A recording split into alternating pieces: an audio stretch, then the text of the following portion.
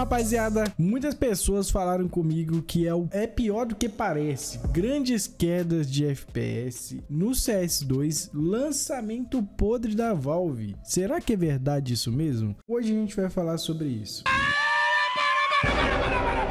aproveita para investir no sonho, na rifa faca dos sonhos, tá bom? Que hoje a gente tá fazendo uma rifa de uma faquinha muito braba, papai. Se você puder participar, você vai ter uma grande chance de ganhar umas skins interessantes. Se você não quiser skin, você pode ganhar 850 reais no seu Pix. Ou se você não quiser o Pix, você pode pegar a faca. E também, se você for o maior comprador de números, você ganha 250 reais. Então prestem muita atenção nesses daí, tá bom? Queria avisar para vocês também que a gente tá fazendo sorteio de uma baioneta aqui no canal para todos os usuários que depositam com o cupom DNXCSGO lá no K-Drop, tá bom? Com o cupom DNXCSGO no K-Drop você ganha 10% de bônus. Você tem diversas formas de fazer a recarga, entre elas Pix, skins, etc, tá bom? Então é algo que vale super a pena. Somente clicar no link da descrição e preencher o formulário. Cada vez que você depositar acima de 2 dólares, você pode preencher o formulário e participar do sorteio. Lembrando que aqui a gente tem poucos depósitos, então automaticamente você pode estar tá levando uma linda baioneta para casa, tá bom? Então não perde esse tempo não e deposita lá no K-Drop drop tenta a sua fé, tá bom? Esse é só uns exemplos dos comentários que estamos recebendo após o lançamento do CS2. E infelizmente nem tudo foi flores com o lançamento. E desde que saiu o beta, já vimos que íamos ter muita perca de FPS. Tudo bem também por questão de que, né, o jogo é novo, o jogo é mais bonito, o jogo é mais remodelado do CS do CS:GO, né? É mais bonito que o CS:GO, tipo isso, né? Aqui no canal tem vários vídeos sobre como melhorar o FPS, vocês podem ficar muito ligado nisso, né? Mas mesmo assim teve muito muita gente que nem abrir mais o jogo conseguiu, muitos travamentos, etc. Então isso aí eu vejo como um lançamento precoce, tá? Mas a gente vai chegar lá. E isso é uma pena, porque o CS faz alegria de muita gente. Então acredito que isso seja o maior motivo do pessoal querer tanto o antigo CSGO de volta. Muitas pessoas gostaram tanto do CSGO que, tipo, o PC rodar, o CSGO rodava em quase em qualquer PC. Comenta aqui, mano, se você prefere o CSGO de hoje ou o CS CS2 atualmente, usando como base de fundamentos se o CSGO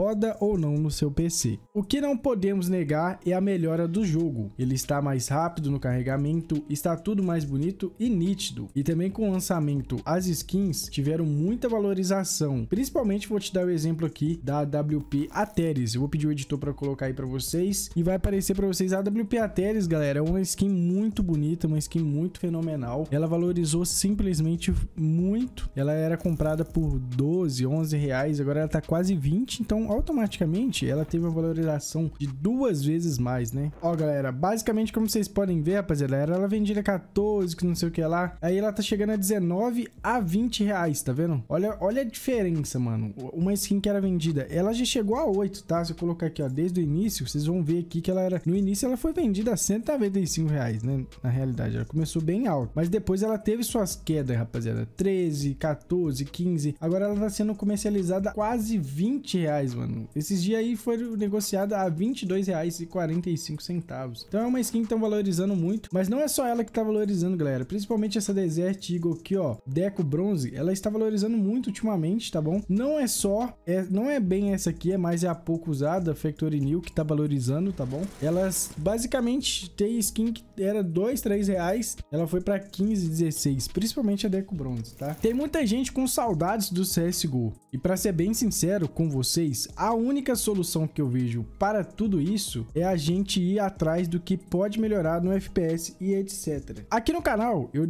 eu sempre deixo vocês atualizados com todas as novidades sobre esse assunto de FPS, de tudo que possa para melhorar para vocês, a gente fica deixando vocês atualizados. E pelo que eu sei, no geral, tivemos uma queda de FPS do jogo de pelo menos 60% em comparação com o CSGO antigo. Mas claro, isso varia de sistema para sistema. Tem muita gente com PC extremamente bom que não sentiu muita diferença na hora de sua gameplay, etc. Na realidade, muitas pessoas não sentiram diferença. Só simplesmente sentiram que regaçou porque o jogo também, querendo ou não, galera, um comentário que me chamou muita atenção nos últimos vezes meu foi que o CSGO não é o mais o CSGO. É outro jogo, é outro estilo de modo de pensar. Não é aquele jogo que dava mil, três mil FPS dependendo da sua máquina. Ele é um CSGO que é diferente, que ele não precisa de FPS para mostrar desempenho, certo? Mas infelizmente quem tem um monitor 240 tem 360 Hz, ele precisa de FPS, então ele precisa de uma máquina muito boa, certo? Então, resumidamente é isso. Tem muita gente que não sabe como olhar o FPS depois dessa atualização. E vou mostrar para vocês como que pode ser feito. O comando que mostra o FPS no CS2 é o CL underline show FPS 1. Eu não gostei muito desse comando, mas é um comando muito bom. Para ativá-lo, basta escrever o comando no console do CS2 e dar Enter. É muito simples. Assim, o FPS será exibido no canto esquerdo da tela, tanto no menu do jogo quanto dentro da partida. Caso queira desativar a exibição do FPS, o comando é parecido, mas com uma mudança no número. Basta digitar o CL underline show FPS 0 no console. Pronto, você vai estar desativando. Agora tem uma outra forma para você estar ativando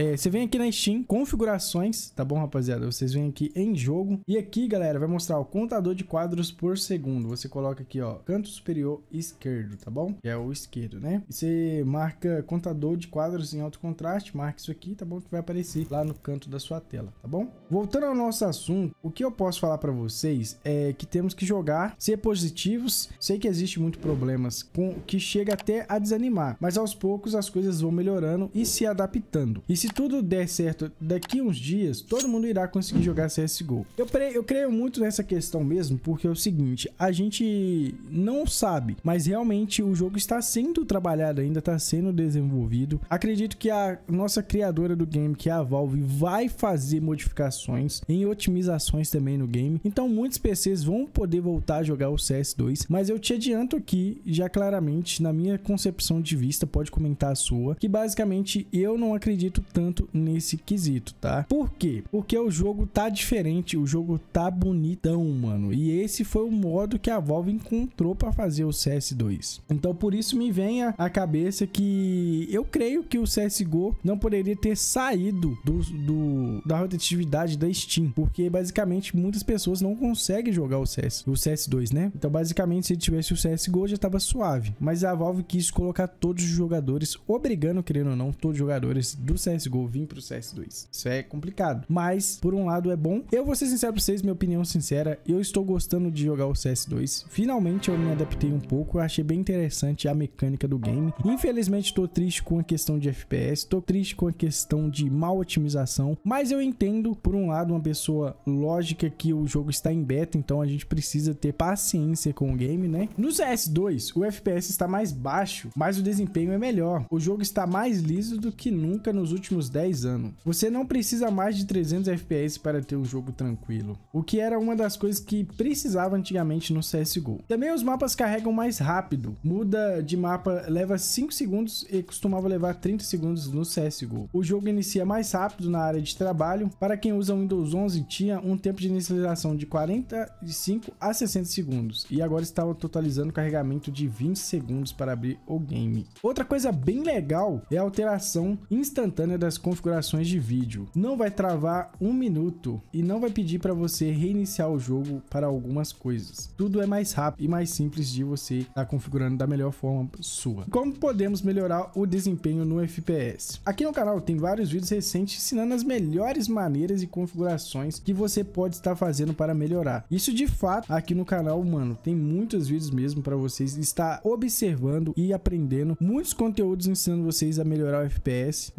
principalmente os dois últimos, tá bom? Mas no seu caso, o CS2 esteja rodando com FPS abaixo de 30, significa que seu PC, infelizmente, pode não ter os requisitos mínimos ou que algo esteja puxando muito memória ou processamento. Por isso, o ideal é sempre conferir se seu computador tem aí o mínimo para rodar o jogo. Agora, se seu PC for adequado e mesmo assim você não está conseguindo ter um bom FPS, tente fechar outros programas enquanto joga o CS2. Isso aí é uma boa opção. Muita gente costuma utilizar boa parte da memória como exemplo, o Discord. O Discord puxa muito. Tente reiniciar o computador antes de começar a jogar. Se tiver problemas, encerra softwares que inicia ao ligar o PC. Isso é importante, tá bom? Tudo isso pode te ajudar a melhorar um baixo FPS, mas não resolve totalmente o seu problema. Outra dica que pode te ajudar é usar os comandos de FPS corretamente no jogo. Assim você pode ter uma melhora maior. Bom, galera, então é isso. Espero que vocês tenham gostado do vídeo de hoje. Se caso vocês gostaram, não se esqueça de se inscrever. A gente tenta trazer os melhores conteúdos para vocês, bem editado, bem trabalhado. Então, um grande abraço para todos vocês, valeu, falou e até a próxima.